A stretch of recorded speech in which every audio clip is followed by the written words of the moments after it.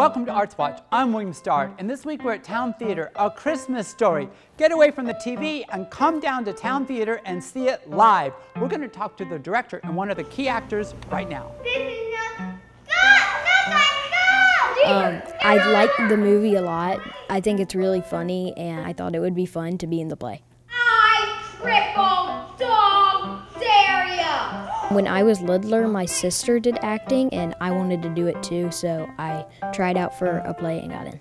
I lived in Manhattan when A Christmas Story came out in the 80s, and I understand that it's on a continuous loop here in South Carolina, and so somehow I just missed it. But it's important in a movie that's so iconic um, to know what audiences will be expecting um, of some of the scenes. Yeah!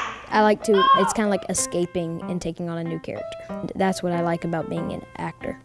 Um, I got the part as Schwartz, and I'm the one who dares Flick to stick his tongue to the pole. It's just absolute fun. And the young actors in the show, the kids who are in the show, are incredibly hardworking and really good. A Christmas Story running November 6th to the 22nd. So get away from that TV and come down to Town Theatre and see it live.